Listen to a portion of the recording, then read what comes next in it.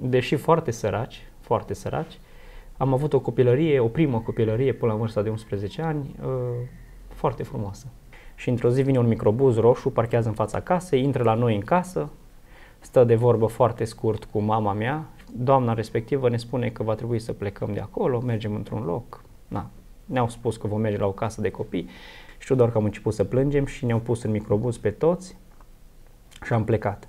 Și trauma asta uh, m-a închis în mine, m-a făcut să fiu un copil așa introvertit, lipsit de încredere în oameni.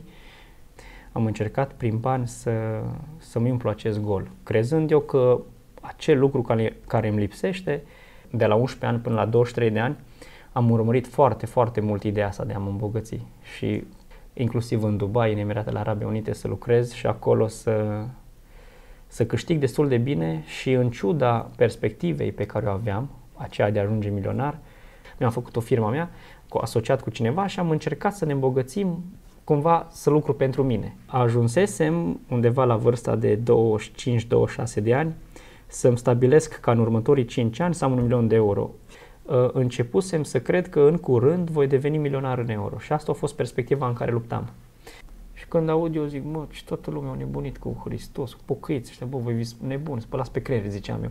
S-a ridicat în picioare, a început să vorbească într-o altă limbă demonică și să aibă parte de o manifestare pentru mine a fost cea, cel mai șocant eveniment din viața mea, dar la nivelul în care să mă sperie, cum zic, șocant de tare.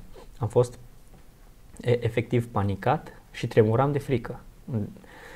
Apogeul manifestării sale a fost un momentul în care se uita spre mine și s-a făcut ochii negri, privirea neagră. Drum, conduceam, Dumnezeu uh, m-a paralizat la mașină, deci conduceam și am început să tremur incontrolabil de frică, fiindcă nu puteam să-mi explic la nivelul minții, aveam o prima mașină pe dreapta, și când am vrut să ies din mașină, mi-au paralizat mâinile pe volan și momentul ăla Dumnezeu mi-a arătat toată viața mea desfășurându-se. A fost un moment în întrebările mele care mi le puneam la nivelul minții în care mă întrebam și îmi spuneam mie, a zis, mă, e o posibilitate să existe Dumnezeu? M-am întrebat aproape retoric întrebarea asta.